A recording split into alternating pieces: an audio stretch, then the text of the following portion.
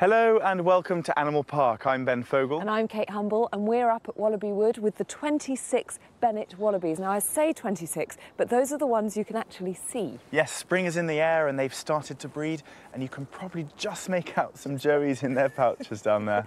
and we've got lots of other stories about the animals here at Longleat coming up on today's programme. We're off to Kenya, where conservationists are battling to inoculate these endangered Grevy's zebra against an outbreak of deadly anthrax. At Longleat, I'm going bananas with the boisterous Bactrian camels. No, don't, no, no, it's not for you. Just wait. And we'll see how staff keep the peace between these two deadly rivals.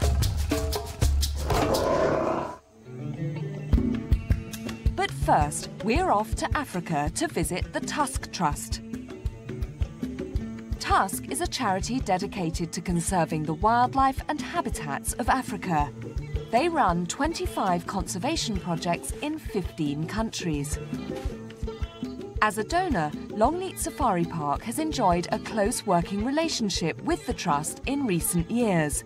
This collaboration means Tusk has invited Safari Park staff to develop their professional expertise by visiting the conservancies it supports in Kenya. This year, Deputy Head Warden Ian Turner has brought four Longleat keepers on the trip of a lifetime to the Lewa Conservancy. Ranging across 250 square kilometres of land on the slopes of Mount Kenya, Lewa is dedicated to preserving Africa's endangered wildlife. Many of the animals living at Lewa are under threat, but none are more endangered than the Grevy's zebra. Recognisable by their thin stripes and large ears, Grevy's used to be found across East Africa. But because of hunting and destruction of habitat, there are less than 2,500 left in the world. Of those precious few, about 450 live here at Lewa. This year, Kenya has been ravaged by a severe drought, which has affected the whole of East Africa. There's been no significant rainfall here for over nine months. Now, the dry conditions have brought on an urgent problem for Head of Security Richard Moller. There's been an outbreak of, of anthrax in an area 45 miles north of Lewa, a place called Ngarani. There's quite a good population of, of Grevy zebra there. The November rains failed totally in this area and especially up north. Um, and, it, and, it's these sort of extreme climatic conditions that, uh, that bring out these sort of diseases, and anthrax is one of them. Anthrax has hit the headlines in the West as a biological weapon, but in Africa it occurs in its natural form. It's a bacteria that lives in the soil. It's rarely fatal to humans, but when it breaks out in hoofed mammals, it can quickly kill. We know of 66 deaths so far, and you know that's uh, it, it's a pretty significant number of animals the disease could easily spread to Lewa, so the park management decided to vaccinate as many of Lewa's grevies as possible. It's a massive job. You're talking of a, an operation that's cost about $120,000 um, to include uh, aerial darting from a helicopter. On Lewa, we're up to, I think it's 250 odd at the moment, out of a total of 400. And we've just got this one small group left to do. But if we if we can do minimum 60%, then at least we're, we're hopefully ahead of the game. Bev Evans looks after zebra at Longleat, but hers are a subspecies called Grant zebra. She's come a long way to see Grevy's for the first time. Now she has the chance to help Richard complete this critical vaccination project. Normally we do dart in a pen, uh, quite a small pen, so it's reasonably easy um, to dart the animal and also to, to get the dart back. Um, but out here, it's, you know, they could go anywhere. Um, and, you know, it must be quite hard, A, to, to find out which animals you've already darted and also to get the animals. We've already got some rigged up uh, darts in here. Yep. Important that they're, they're all chilled. Mm -hmm. You know, we've still got quite a few, but I, I think probably best we rig up a, a couple more darts. Sure, okay. You've got two compartments. Right. Yep. You compress this one with compressed air. Yep. the plan is that compressed air Mhm. pushes that plunger forward, Yeah. and then the the, the drug or, or the vaccine in this case is then uh, administered to the animal. Yeah, sure. Right, Bev, I think we can pack up and, and head out. Over 250 animals have been darted so far, and Richard is an old hand at the process. But still, it's not easy. Once you've darted one or two out of a group, the rest uh, obviously realise there's something amiss here and, and become a, a little bit more skitsy, and, and that's why we haven't done the whole population. With one fifth of the world's grevies living at Lewa, it's vital for the future of the species that the vaccination programme works. We'll come back later to see how Bev and Richard get on.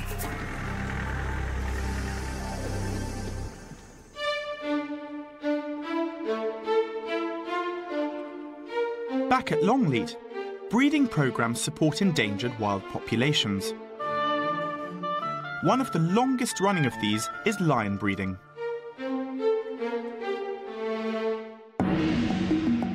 Kabir, the male Barbary lion, arrived at the park in 2005. He's one of less than 100 Barbary lions left in the world. Thankfully, he settled in quickly. He sired two female cubs. At first, he was a bit of a grumpy father. But now, the whole family are getting on splendidly together. There is one lion at Longleat that Kabir will never meet 12 year old male Mafui. Male lions will not tolerate other males, and so Mafui and Kabir are deadly rivals. Though they share accommodation, the keepers must keep them apart. We're outside the lion enclosures with Head of Section Brian Kent and Keeper Bob Trollope, and we've got quite a task on our hands, I gather, guys. We do. What have we got to do today? Well, we've got to put one pride in and let one pride out. Okay, that sounds relatively simple. We've got one pride of lions out and they've got to be in, and one pride of lions in and they've got to be out. But they're all in the same section. Ah, Ah. So, how on earth do we go about this? Well, we just go in there and drive one lot into a paddock, right. um, get them into the house, and then let the other lot out. You, sound, you make it sound beautifully simple, Bob, but I have a feeling that it might be a little bit more complicated. While Ben and Brian head down to the lion house to meet Mafui, I'm off with Bob to meet Kabir, who's holding court in the lion enclosure.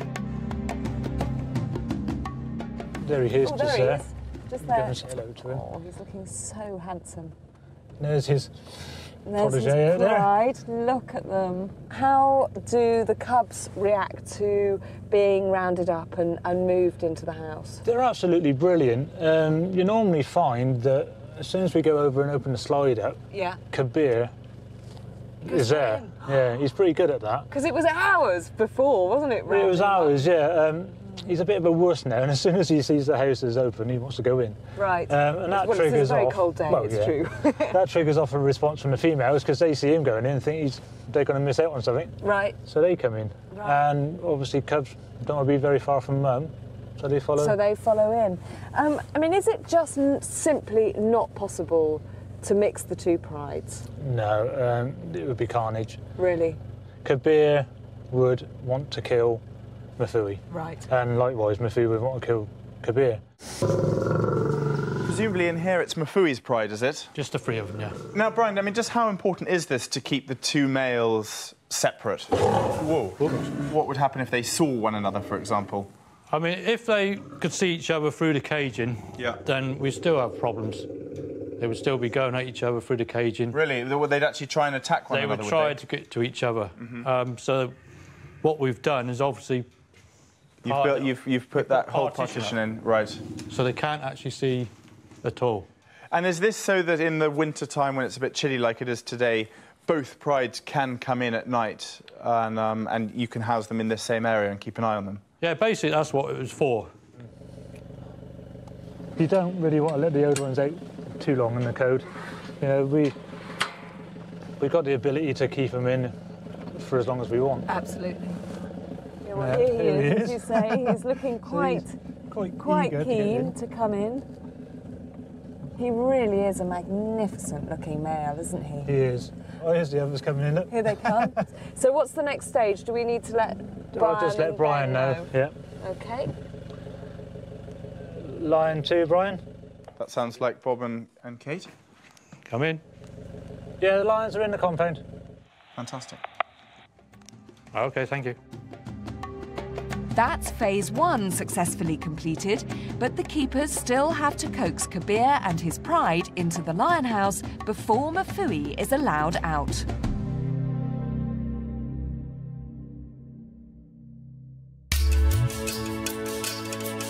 At Pet's Corner, Darren Beasley and Joe Hawthorne look after some of the park's less terrifying residents, including over 40 tortoises. Now they've come to the Lewa Conservancy in Kenya, hoping to study tortoises in the wild. But Lewa's a big place, and tortoises can be hard to find. After days of searching, Darren and Joe have heard about a tortoise sighting, so they've come to investigate. We heard on the radio he might have found something for us. Joe and I have just got fever pitch excitement coming here because we just mm-hmm. heard on the old uh, walkie-talkies that Englishy here might have found us a, uh, a tortoise, and this is a big place. You're looking for a, a needle in a haystack, and we would so love, you know, for, for many, many reasons to, to find a tortoise. And if it is a tortoise, and it's the sort of tortoise we think it is, it's a big result all round. Tortoises are shy, well camouflaged, and very difficult to spot. But one has recently been seen in this area. Surely it can't have gone far. Okay, where the guy is up there. All right. Hey, hey, You got it, you got it, you got it. Oh my lord! Yeah! Oh my goodness! Joe, we're gonna need a bigger set of scales. That is a beauty, God. That's a that is a leopard tortoise. Oh my goodness! Ah, Isn't she beautiful? don't worry, I'll take Ah, some well done. Thank you. Thank you. Well done. Huge.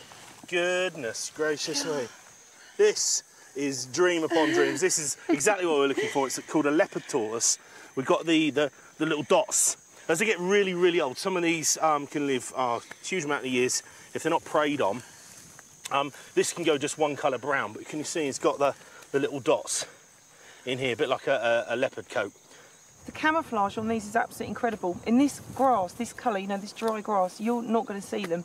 Um, obviously, you know, when they need to get away, um, they need to hide away from predators, they've got the perfect, you know, camouflage shell there. The leopard tortoise is found in grassland right across Africa. Eating a diet of dry grass and the occasional fruit, they can weigh up to 35 kilograms and grow up to 700 millimetres across. Okay, Joe. Um, First one, goodness gracious. 550. Okay. Accurate measurements will tell Darren more about how life in the wild affects the condition of the tortoise. 40. I'm just going to measure her V at the back Okay. um, to give us an idea. I know it is a girl. Yeah, I'm doing in, in mils, so 100 mil. okay. She's a big girl. There's no shell damage, probably because of her size. But very when they're very young, these are ideal prey animals. Every, everything eats them. Um, even hyena with their really strong jaws, they'll, they'll, they'll try and bite into them and bust these. That's perfect. And they're like tanks, aren't they? Look, she's going to go through there. But she's got a lovely shell, really nice. It's not only a defence, but it's a solar panel as well. And in this really African, hot African heat, I mean, it's 100 degrees out here, it feels so warm. Um, she generates all her energy um, from eating her food and then absorbing the sunshine through here. So it's defence, and it's a very advanced solar panel, you know. See, there's no damage here. Um, we know with our tortoises, the boy tortoises can be really rough. When they're trying to chat up the girls, what they do is they come up and they, they bash them, and you get a lot of shell damage. Here, look, she's gonna be lucky if she stumbles across another male tortoise once a year, if she's lucky. Um, so, quite amazing. The last vital job is to get a good snap for Darren's extensive collection of tortoise photos. Rather bizarrely, whenever I travel anywhere in the world, if I happen to find tortoises, um, I use my foot as a scale measure because you end up with all these lovely photographs, um, tape measures and weights and things. But when you actually see the pictures back at home on the computer, it means nothing. My foot has stopped growing many years ago, so I always slip off a train. It's rather rather sad for the poor wild tortoise, um, but it's a good measure. So you'll see most of my tortoise shots at home of wild tortoises have uh, have got a foot, Darren's foot inside. Darren's special interest is how animals like this leopard tortoise fit into the overall ecosystem. It's really crucial that everybody uh, uh, in the world understands as well that we're in Kenya, elephants, rhino, all that stuff. But the crucial word we use these days is biodiversity. Uh, everybody plays a role out here. These guys will, will they'll make the tracks, they'll eat all the fallen fruit, they'll spread the seeds, you know. If you look after the little ones, the big ones follow suit. And it's crucial that, that, that, that the whole scheme, the whole web of life is, is cared for. So you can go back and find some more nice things to munch and live a long life. Thank you very much. You're welcome. Absolutely You're fantastic. Thank you. You made us both very happy.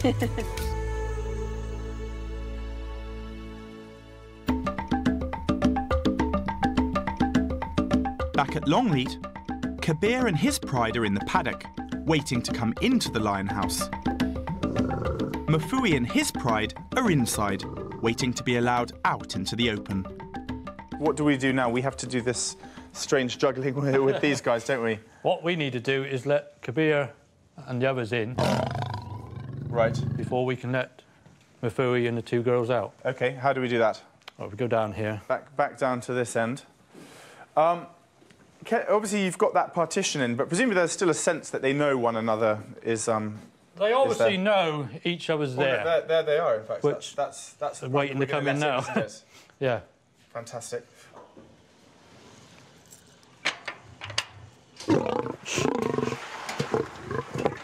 Right. Go on. come on then. Come on. Come on. Come on. Brian, how are we doing out there? Not too bad. Just waiting for one more at the moment. Oh, here he, here he comes. Two. Now there should be one other female and the two young cubs.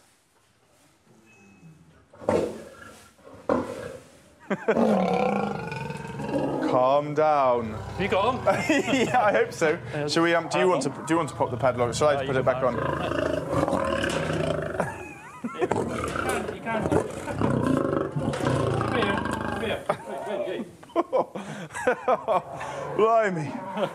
These are absolutely beautiful the little cubs. They're getting on really well, aren't they? They're they they, fine they now. look so fantastically healthy. So you're happy that these guys are safely in now? That's it. They're safely locked in at the way. So Mafui is going to disappear down the back. We're not going to see him, and the next time he's going to appear is outside. Is that right? Should be straight out in the paddock. Okay. Presumably there's secret passageways built in here, are there? You've got a tunnel, what we got on the back, transit tunnel, that we can move any line past any other line Without without any without- contact. without any even- contact. That's what it's built for. Oh, there we go. So that's one of the girls that went first. That was Amy, now Amy. Lulu, and Mafui. and Mafui after. So that's safely outside. Yep, they should be on their way. Here they are. Oh, look, here they come. There it is.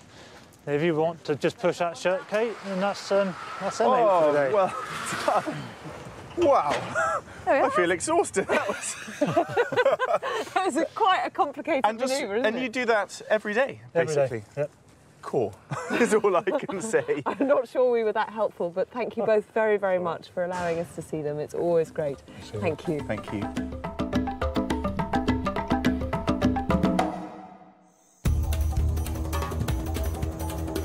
Back in Kenya, Bev Evans is helping Lewa's head of security, Richard Moller, with a critical vaccination programme.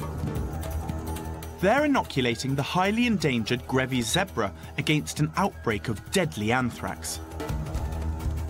So that this this group up here, it's the it's our last group. We we know it's the last group. Oh, right. Um, be- because it's a group that's got several folds. Oh, right. They don't move very far from this area, so we've purposely left this group till last. Yeah. Are you darting the foals as well? No, definitely not. Right. No, no, we don't want to to stress them out too much. Mm. Um, just the, the fully Just- grown just the animals. adults, Yeah. okay. Finding the group is one thing, but getting close to them is another. See, they already know it's. Yeah, they're getting they, They already know, hey, what's up here now. The zebra group head into an area of scrub, making it more difficult for Richard to get a clean shot at them. Do you think that um, hit the spot? No, No, not at all. no, it's a clean mess. Yes.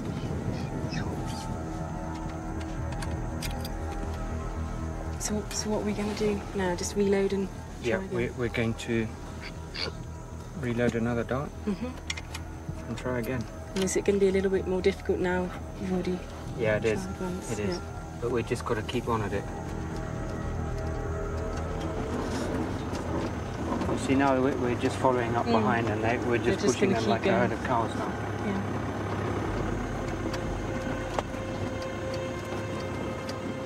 The zebra are now clearly avoiding the jeep.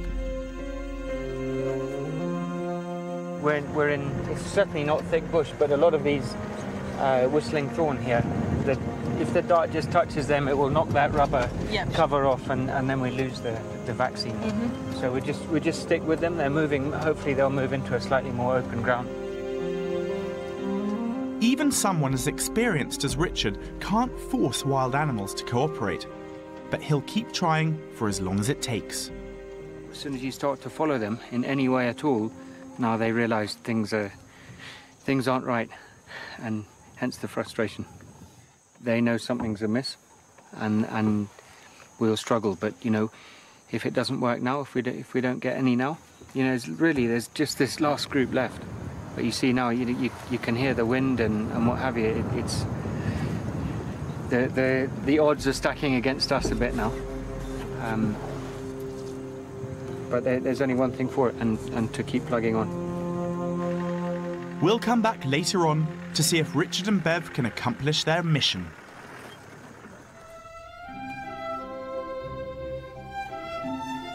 Back at Longleat, many of the animals are acclimatised to human beings and not shy at all. Some of them even come forward to be given their medicine. I think this might be what you call a crush of Bactrian camels. Hello, girls and boys.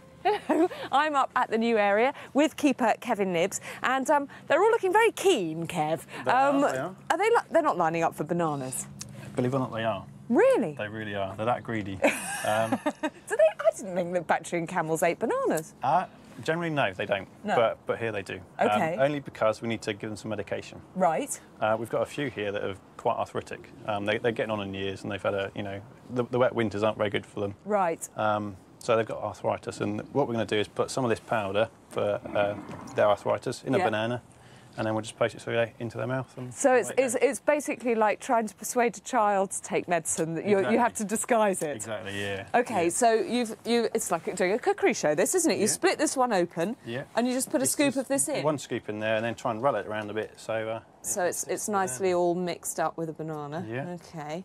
Crikey, this gives a new meaning to banana split, doesn't it? So have you? Is this a sort of tried and tested method? Did you try it other ways and they just wouldn't take it? We, we've tried many ways. Um, this seems to be the most quickest and efficient method. Right. Um, we've tried it with um, their dry food, Yeah. um, but you have to add water with it to make it all stick to the, the pellets, and it, it, it takes longer. At, Right. at least this way, we're with them the least amount of time. And and I suppose, as you say, you you're absolutely sure that each one is getting the required dose. Exactly. Yeah. Exactly. Okay. What do you what do you think of that, Kev? Do you think that's That's gonna that's good. gonna do That's the pretty trick? good. Uh, if we give that one to Babs because she's pretty greedy, that'll go go down in one really. Okay, should we, do we need to take all of them at once? Because I know they can get quite, quite sort of, well, on cue, pushy, can't they? wait, just wait, it's coming, it's coming. Yeah. If, if we take them all together um, and we can sort of give it to the ones that need it, and we've got a few left over for the camels that don't need it. But if they did need some medication in the future, Then, so this is this is quite good way of, of, of obviously keeping an eye on them because I know with them they're big animals. Yeah, um, yeah. They're they're well they they could be quite dangerous, I suppose. Definitely, yeah. They, they've got a, a big kick on them, very big feet, um, Yeah. very powerful kick. Um, they can bite and they can also spit as well. And we've got a gate between us for, for our safety. Um, and yeah, we can get right up, right up close. They, when they're from the mouth, we can even look at their tongues, make sure that there's no injuries in the mouth or things like that. Make sure their teeth are there. Um, so it's, yeah, it's just a nice way to get close to them, but safely. But safely. Right, I think that is all four banana splits done. Right, I've got my two, you've got your two. So let's go Now, over. what we need is uh, Raisha Hello. here, the, the big white one. the big she, white she one. needs two right, of those. this is Raisha. Yeah, and Babs needs two as well. No, ah, ah, ah, ah. She- So they have two each, do two they? each, yeah, and Okay. we'll give the others some you go. later on. No, don't. No, no, it's not for you. Just wait. now it looks like um, hard to tell with all that slobber. You've got terrible table manners, but it looks like they haven't actually got teeth as such. Um, no, they've, they've got a hard palate on the top of their mouth, and, Right. and below is the teeth. So they've got teeth at the bottom. bottom. So like a, is it like a sheep? They've got a sort of palate at the Very top, much, haven't yeah, they? very much like that. Here you are. There's your other one. Ready? Mmm, yummy. Thanks, Kate. Not like she cares. It doesn't last long. It doesn't last It long. doesn't. There's obviously a very effective way of doing it. Now, Babs is the Babs brown one this here, one, not yeah, it? Yeah, the one Hello, with the, Babs. the floppy humps. Now, and and oi, oi, oi. This is the male. Is That's that the right? male, yep, yep. That's Just- a love bite. I'm quite pleased. Um, I'm not getting any love from him. Just wait. No, no, no, no. Babs, they. They're quite a challenge, aren't they, Kev? It's, it's good fun. It's very good fun.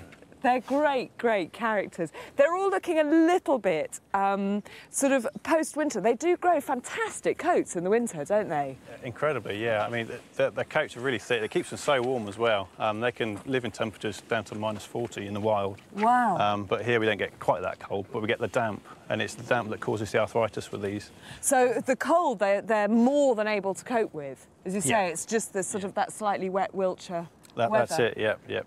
Okay, well, they're all dosed up. Can we give some other some bananas to the others so that we don't get attacked by them? Here we go. Right. Whose turn is it now? well, Kev, I hope the the, um, the treatment does the trick and they're all scampering around when the spring weather comes. You've had yours, but you haven't. There you are. There's your nana. Thanks, Kev, very No much. worries. Here you go. Mm. Oh, you see, you're nice and polite. Don't, just stop chucking your weight around.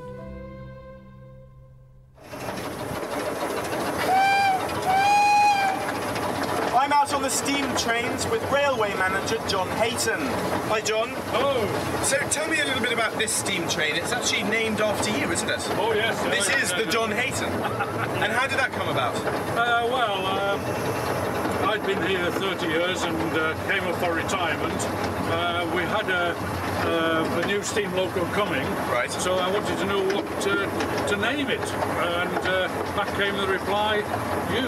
So there we go. I- It's I quite an honour to be bestowed on you. Yeah, it is really. Yeah, yeah, oh yeah, yeah, yeah. Not many people have one on it. Yeah, yeah. And how many steam trains are there here at, at Longleat? Well, uh, just the one. Just the Uh, one. Did have another one, but I sold that one. Right. This one. This is much bigger. We've got many, many people coming now. We need a much stronger loco, which this is. Absolutely. And, and do you get out in it very often? Not as often as I'd like. No, no. Uh, uh, I've other chaps who drive it. They, they get all the pleasure. Yeah. I push all the paperwork about. So today, coming out like this is a, a is a, an extra pleasure for you It's a away from the holiday. office. It's a holiday. holiday. John, thank you very much. Don't go away. Here's what's still to come in today's programme.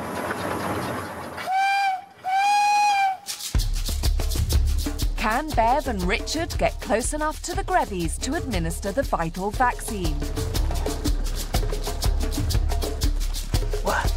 Go into the bush on the trail of two white rhino. And we catch up with the otter pups who've just learned how to swim. But first, Longleat and its animals have been here such a long time that they seem a part of the natural landscape. But in fact, much of the landscape isn't natural at all. Half Mile Lake, for instance, is entirely man made. The first Marquis of Bath had the lake dug out in the valley 250 years ago, following the line of an existing stream, as estate manager Tim Moore explains. The name Longleat comes from the long leat or stream. And you can see, looking up here, the stream that flows through the valley. And then this source of water, then over the centuries, uh, is used to create this fantastic chain of lakes running all the way down past the house and contributing to the setting of the house.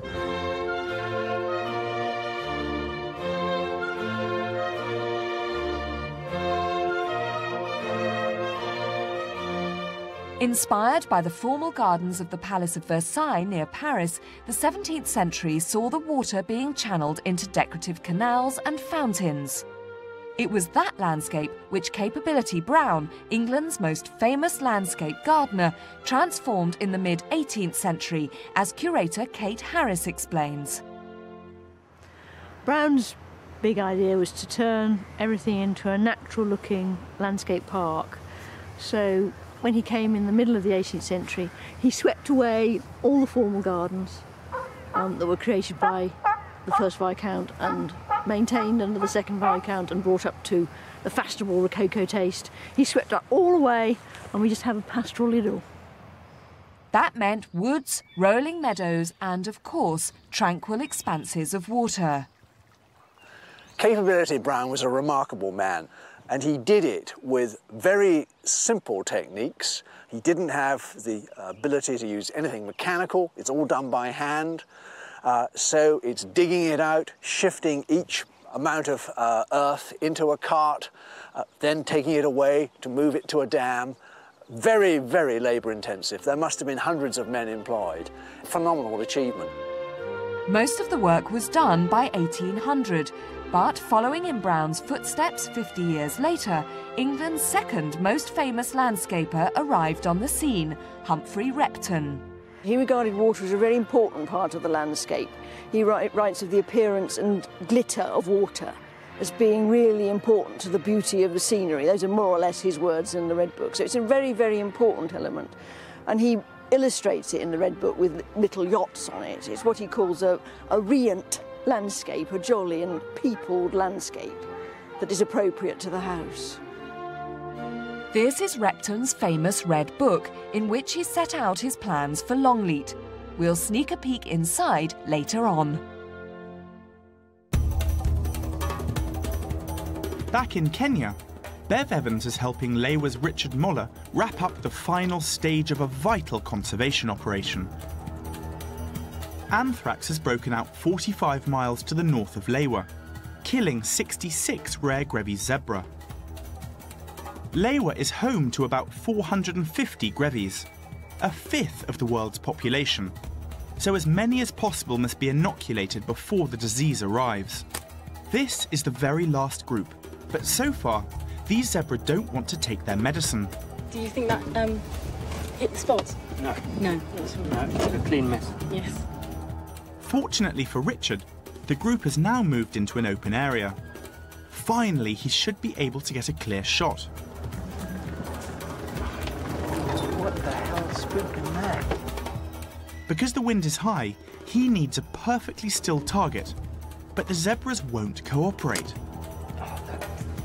I am gonna lose it. The dart drops short again.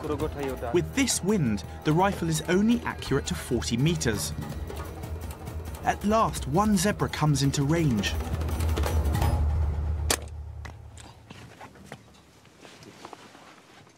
So are you happy with that shot?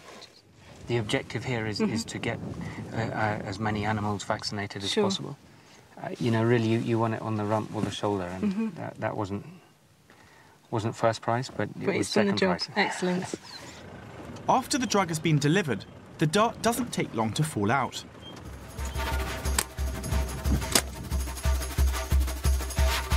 One by one, the rest of Richard's darts find their mark.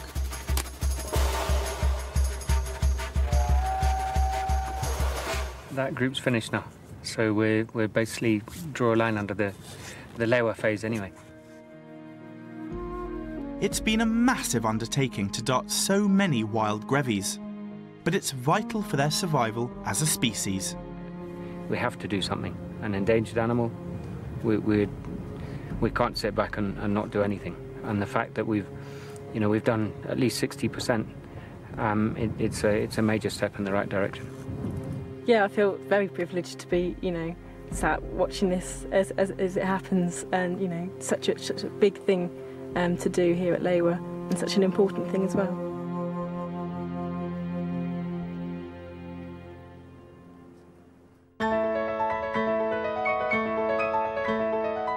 At Longleat, Pets Corner is home to the park's smallest residents. These leaf-cutter ants may be tiny, but they're incredibly strong. Each ant is able to carry up to 10 times its own weight in leaf.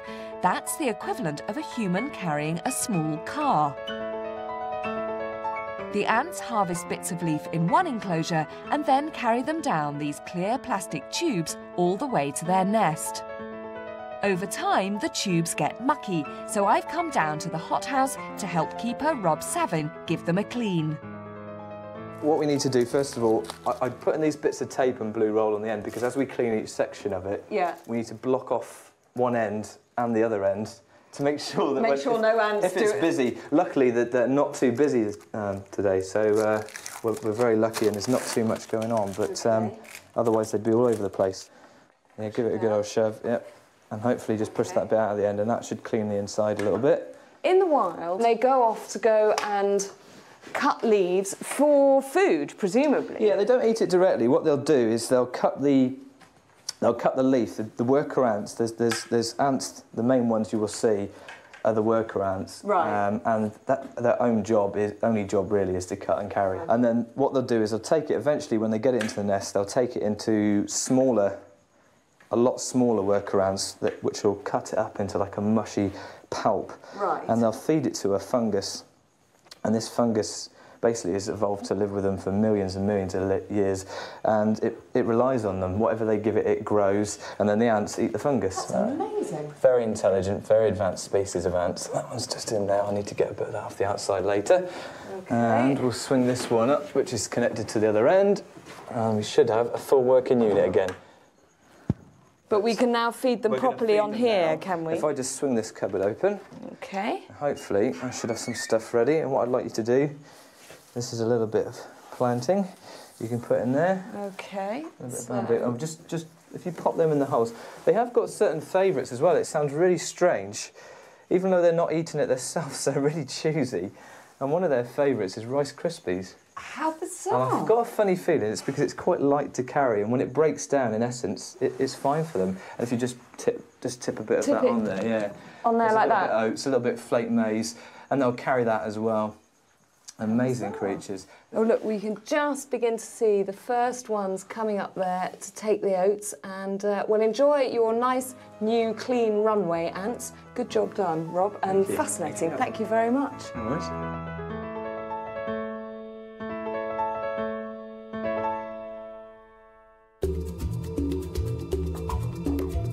Last year, five longleat keepers came to Kenya to witness a remarkable conservation operation. Two white rhino were translocated from Lewa to Kijio, another reserve supported by Tusk 200 kilometres away, where rhino hadn't been seen for more than 20 years. The male and female were transported by road in separate crates. During the journey, they each knocked their horns off. Rhino horn is made of matted hair and the horns will grow back. But it was a tricky start for Kijio's new couple, who it's hoped will form the nucleus of a breeding herd. Now, Deputy Head Warden Ian Turner and Joe Hawthorne from Pets Corner have come back to Kijio to see how the translocated rhinos are settling in. I can't actually wait to see them, and seeing them in their natural habitat has got to be better than anything else. But Ian and Joe will have to find the rhino first. To do that, they're being trained by guide Patrick Lengilili in rhino tracking techniques. Oh yeah, here we go. Ah. Got some tracks here. Yeah, and it's, they are walking that way. Okay. You can tell because this is the front toe here. Uh-huh. See? This the Right. front toe here. Yeah. So they should be now at least uh, down that way. down Right. that way. Otherwise, sometimes also we can look for the droppings. Oh, Yep. and there's some droppings as well there. All right, yeah.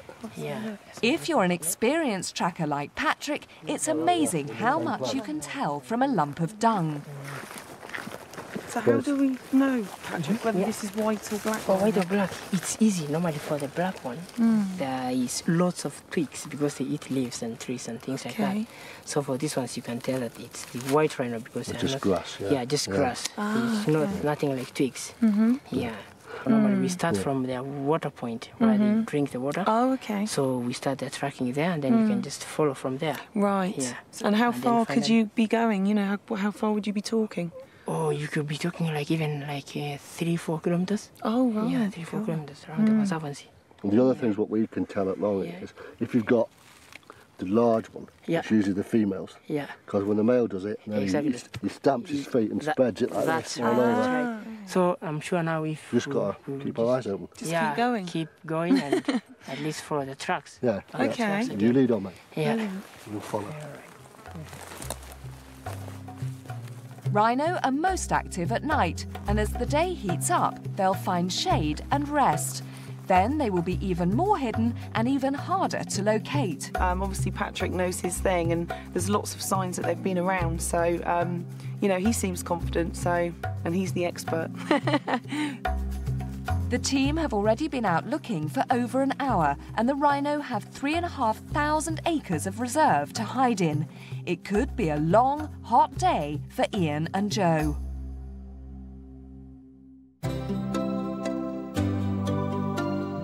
Back at Pet's Corner, keeper Rob Savin is on to his next job of the day, at the otter enclosure. Rosie and Romeo recently had two little pups. Amazingly, otter pups are not born knowing how to swim. They have to learn. But not long ago, the pups plucked up their courage and took to the water for the first time. I've been eager to meet them, so I went down to help Rob give them a little treat. These are the new pups, are they, Rob? Yeah, these are the uh, pups of the Asian short-clawed otters. We've got Rosie down here, it's mum, and down the bottom there is dad, and very hard to tell apart of the pups because they're getting very close to the size of their parents I can't now. get over how big they Growing are. at a dramatic rate. This sort of thing is uh, is helping. What, what are you throwing there then? You've This got prawns is just one of their absolute favourites. Presumably that's why they're making all of this all of this noise. This out, yeah. Is that, that, that that kind of squeaking that they were doing? Was that give us the prawns? Pretty, pretty, pretty much, but they are one of the most. They're very vocal otters. Asian short-clawed otters are one of the most vocal otters you, you get in the in the world. So um, so how old? Just remind me how old the, the pups are now. About six uh, six months now, yeah. And there's no, there's no problem with them kind of hanging around with mum and dad for. Not at all. This is one of the, the few otter otter types uh, in, in the world that will actually stay with their parents, and they can stay with their parents for a very long time. They're very family orientated. Um, most other otters are solitary Mm-hmm. and they, they wander off, and, and that'd be that. And even the parents wouldn't stay together. But uh, no, they could go well beyond a year. Uh, I've known some groups um, numbering 12 you know, parents and then 12 little ones. Really?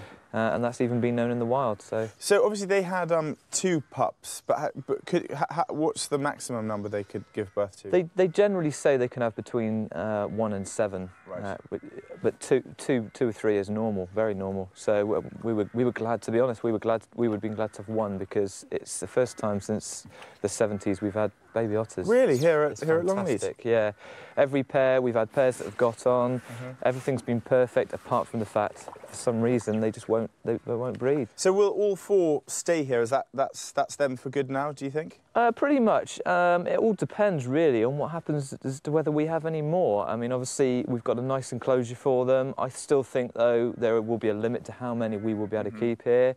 Um, but what you can always do sometimes is um, in the zoo community, if there's if there's any um, zoos, other zoos which are looking for um, male or female otters, it's good to possibly share them if you do want to move them out at some point, because it's it's very good for genetic Of course, diversity. to- to- to uh, share all the- the if- blood. if- yeah, and to um, keep good bloodlines as well. So if we do get to a point where we do need to move any on, there's always going to be plenty of places that will have them.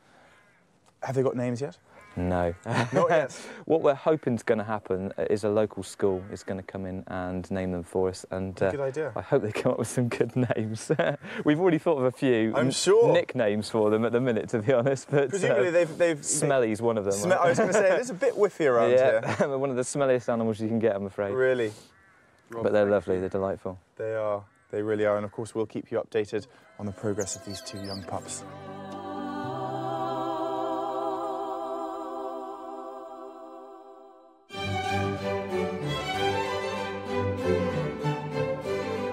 Humphrey Repton arrived at Longleat 200 years ago, it was the age of the Romantic poets. When William Wordsworth wandered lonely as a cloud and saw a host of golden daffodils beside the lake, beneath the trees, fluttering and dancing in the breeze. Fifty years earlier, in the 1750s, Capability Brown had swept away the formal gardens, and now, as estate manager Tim Moore recounts, Repton wanted to add a more intimate touch. He wanted a landscape that was more romantic, uh, more there for pleasure. And he does, in some of his comments uh, about uh, others and principally Brown, he's saying the Brown sort of landscape is practical. Where you have a building in a Brown land, in Brown's landscape, it's a cottage or a barn. It does something. He said, well, we shouldn't have that. we have moved beyond that. Uh, my uh, clients demand not barns and cottages. They want beautiful things in the landscape. They want temples and uh, grottos and uh, buildings that reflect the romanticism of the countryside, not its utilitarian use. As well as being a gardener, Repton was also a skilled artist and used a famous red notebook to lay out his ideas. Archivist Kate Harris has brought it up from the library. It's basically a very, very grand sales pitch. Not all his suggestions were taken up.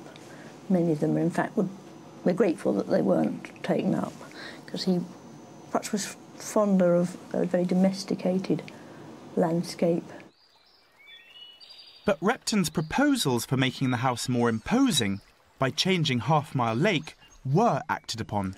I think the most important change that Repton made to the water at Longleat must be the change to the Half Mile Island Lake, um, where he lowers the water level so that one can appreciate the drama of the house rising more dramatically above the lake. Um, and this illustration, illustration 8 in the sequence in the Red Book, shows a before and after view with what he intends shown underneath the flap with the tributary river, the appearance of a tributary river going towards the boathouse and the house rising dramatically above the water. I think the before and after is a very, very sophisticated sales pitch. The second Marquis agreed to pay nearly one and a half million pounds in today's money to create the view of the house we see today. What they were doing, I was spending money on navigators' work, which is basically to dig out what was the former portico pond, to increase the height of the house above the water, and also to give um, the effect of a natural conflux of two streams, what he calls it. So they created that, if you like, tribute tributary to the main area of the natural river, as an explanation for why the lake is so very narrow up at the waterfall end and widens out to such an extent at the far end. Repton also tried to disguise the artifice behind the inverted commas natural river by creating an island. So what they did was take a great bite out of what's called Hazel Copse Mead um, and create the island where we now have the gorillas. 200 years later, the man-made lakes look as though they've been here forever. Just as the designers intended, estate manager Tim Moore finds them a great source of enjoyment. Looking back at the origins of the lakes here, and if you look at Capability Brown and then at Repton, they create water for pleasure, whereas before it would have been the Marquis of Bath and his family may be going out in a little skiff or a sailing boat for um, you know, their personal pleasure. So it's like the rest of Longleat, really. Lord Bath and his father, by opening it up to the public, has shared what was purely private family enjoyment with thousands of people. Probably had as much fun in the last five minutes as I have for quite some time. It's a long time since I fed the sea lions, very long time.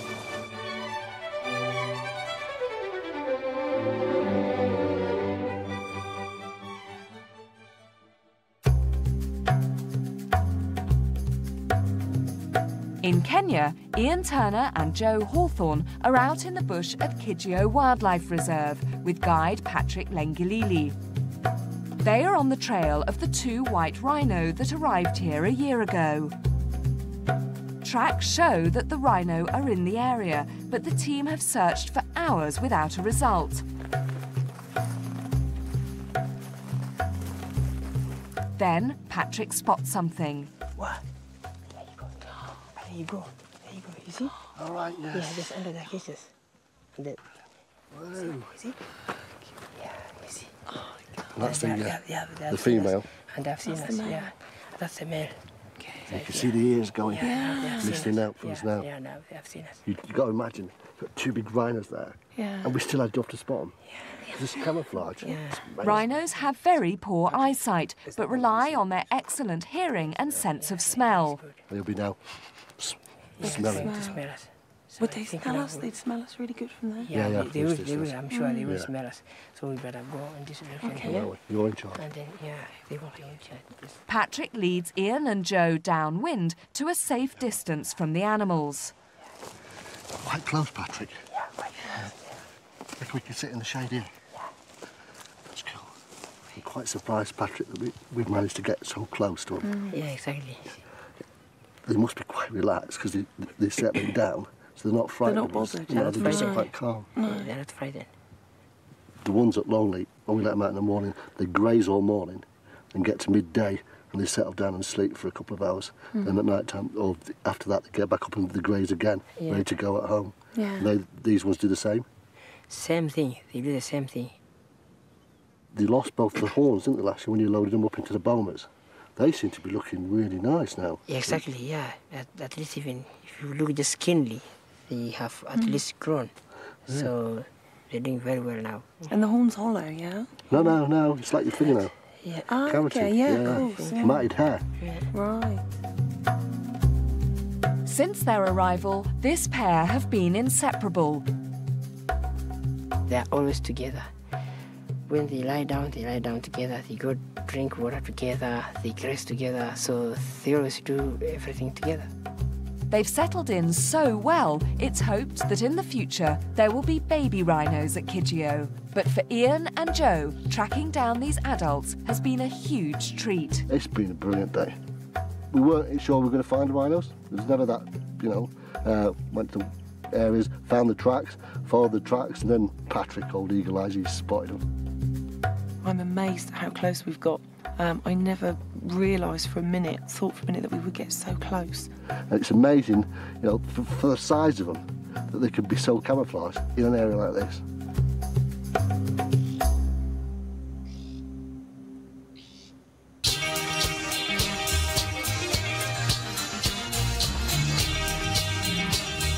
The Longleat keepers have now come to the end of their visit to Kenya. They've seen some of the most amazing wildlife on the planet. And for all of them, it's been an incredible experience. really, really wonderful week. There's such a huge, wide variety of animals and plants here. Everything from the, the tiniest little bug, you know, to the elephants, rhino, as I say, giraffe. We even found leopard tortoise. I mean, we're in the savannah, you know, hundreds of square miles, and we find a leopard tortoise. And to top it all, the people, the children, and, and, and all the Kenyans. Honestly, it's, it's gonna, I'm going to take this to my grave for me. It's been an amazing, amazing time. The team trained with Lewa's anti-poaching unit and experienced the sharp end of conservation in action. They can pay for looking after this stuff with their lives, you know? Stop! You have to follow! And when you see Michael come blasting around the side of a thorn bush, brandishing a rifle at you, um, it's pretty scary. And that's what these guys are paid to do, just to protect the wildlife and the game that's here. So that's pretty special, spending time with those guys. Each of the team has developed their professional expertise and learned things they'll be able to use back home. What I'll be taking back with me, I think, is to never take for granted um, the animals that are out there. I think I'm definitely go back to work wiser now. I, I wouldn't say I was going back as a different man, um, but you're never too old to learn. It's got a massive suck on him, mate. Look at that. knows, he knows what's in there. Coming out here and, and seeing the, the exact habitat and learning a lot more about behaviours, you just feel you haven't learnt everything. You know, books can't tell you everything. We have to aim to get our animals looking as good as these guys. There's always room for improvement. I mean, you should go to work every day thinking how you can make your animal's life more comfortable and better. This gives you kind of a yardstick to, to aim for.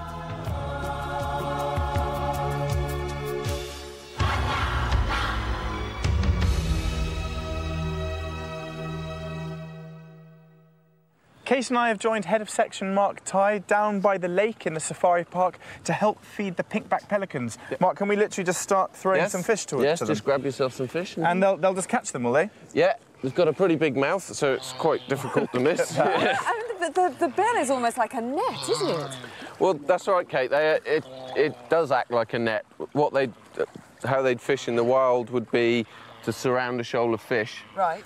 Dive their head into the water, Yeah. and they would just, their pouch is extremely elastic and it will stretch and allow itself to fill with fish and water. So if it's got all this water in it, doesn't that mean that they just sort of end up drinking half the sea or half the lake in this case? No, what they do is they pull their pouch against their neck and squeeze the water out the sides and just keep the fish in. So they sort of sieve the fish. yeah, absolutely. And when they're fishing in shoals, will they work together as a team or do they do they fish individually? Uh, the pinkbacks fish individually. Right. Uh, the whites will fish as a team. Yeah. Um, but the pinks are more of a solitary sort of individ- individual feeder. They're very agile, aren't they? They really are. Mark, I, I'm amazed there's lots of different sizes of fish. I mean, is that the maximum sort of size, that, that, that, that No, no, absolutely not. These just happen to be sort of quite small. Right. Um, they could probably swallow a mackerel twice that size Really? easily. Yes. And how many, and, and what sort of appetite do they have? Would they eat a lot of these per day? Uh, no, they, for, for a large bird, they don't eat very much at all. Probably only about three quarters of a pound each, Right. which is not a not huge that amount. much, is it? No. Um, looking out at them, they're dispersing now. Come back and show off. Um, you've got some that have very distinctly brown feathers as opposed to the slightly beigey, pinky white feathers. Mm-hmm. Um, are those young ones? Yeah, there's three really brown ones, and the, those were the three that we hand reared at the end of last year. and any they're- chance that there might be some more this year? Well, fingers crossed, we're hoping there will be. Oh, that would be fantastic if there were. Yeah. Well, Mark, thank you very much indeed. We'll finish off feeding the pelicans, but sadly, that's all we've got time for on today's programme. Here's what's coming up on the next Animal Park. Romeo the otter has a problem in his mouth that could be life-threatening. He must see the vet, but he doesn't want to go. The rhinos like their mud nice and gloopy, but they don't have to worry about losing their wellies. Your boot. And Kabir is raising hell over his cat flu injection. But the little cubs don't seem to mind. That's all coming up in the next Animal Park.